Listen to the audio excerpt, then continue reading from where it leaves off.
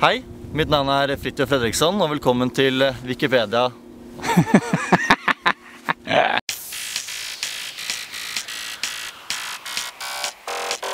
Halla, dette er Øystein Bråten, og du ser på Twintipedia.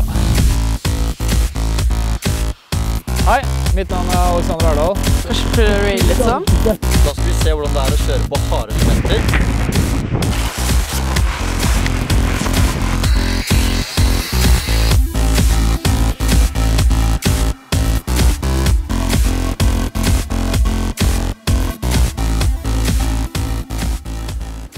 Da skal vi se nærmere på rotasjon av bokser og rails. Et godt knep da er å bruke lokkingen eller låsingen til å sette en kraft ut fra skia og dytte seg rundt i en rotasjon, enten det er frontside eller backside. Da skal vi først se på en eh, frontside eh, 270, som er en ganske grunnleggende rotasjon av en rail. Da bruker den forreste skien, altså den høyre skien her, til å lokke en slik vinkel.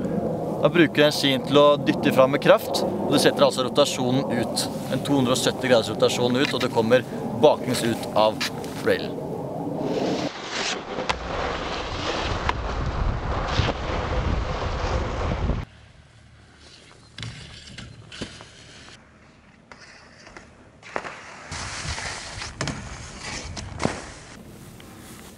På en eh, backside 270 bruker du også den forreste skien til å lokke, men du lokker andre veien. Da skal du altså rotere mot venstre av. Du bruker kraften du setter med skien til å dytte fra. Rotere 270 grader eh, mot venstre og kommer forlengs ut. Da skal vi se på rotasjon på elementene, altså bokser og rails.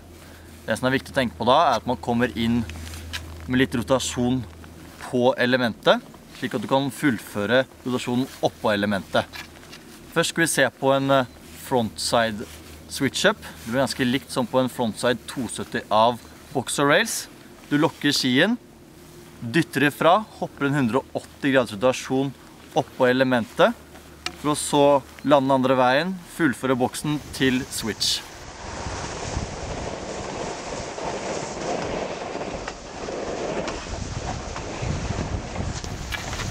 På en backside switch-up er det ganske likt som på en backside 270. Du kommer inn med litt rotasjon, bruker lokken i skien, til å dytte deg fra, hoppe rundt, 180 graders rotasjon, lander igjen, den andre skien først, fullfører ut, og du kommer forlengs ut av elementet.